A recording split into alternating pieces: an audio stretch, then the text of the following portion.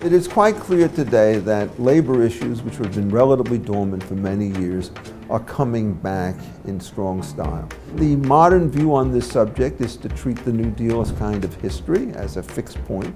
and my view is it has always been a mistake, and that if you're going to re-examine first principles, you have to understand that the situation with respect to labor unions was wrong in 1935 and remains wrong given the huge changes in the way in which labor markets work.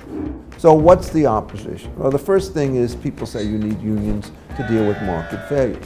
Uh, the true situation is that unions were the source of most market failures. Uh, those failures come in two forms. There was strong use of violence in order to shut down non-union facilities. There's a classic illustration of that pattern. There's stories in the New York Times from about 1912 and so forth in which the defense that the union guys give is when we blew up the factory, we made sure that there were no workers in it, uh, but it's quite clear that violence was a part of it. And the second form under those circumstances was the difficulty with respect to collective refusals to deal.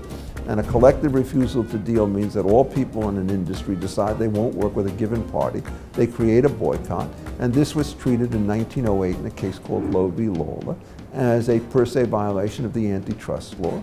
The issue was big enough to become one of the two or three major points of contention in the 1912 election. And when Wilson became president, the Clayton Act expressly exempted unions from the antitrust laws.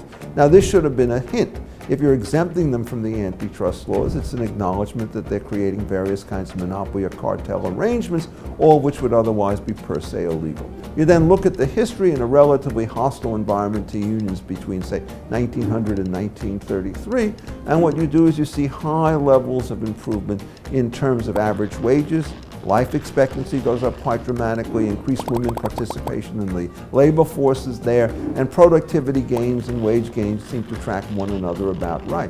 Uh, so the progressives, always talking about the dangers of the system, actually never looked at the aggregate data to see whether or not it supported them, and it did not.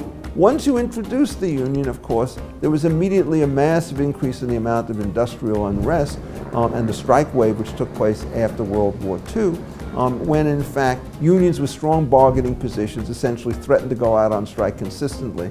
And it was such a bad situation that they passed uh, three statutes that were designed to deal with this. One of them was the Administrative Procedure Act. Uh, then there was the Labor Management Act. And then third, you had the Taft-Hartley Act, which did not repeal the National Labor Relations Act, but essentially created a few unfair labor practices with respect to unions, and more importantly, introduced the possibility of right-to-work laws if adopted by the individual states.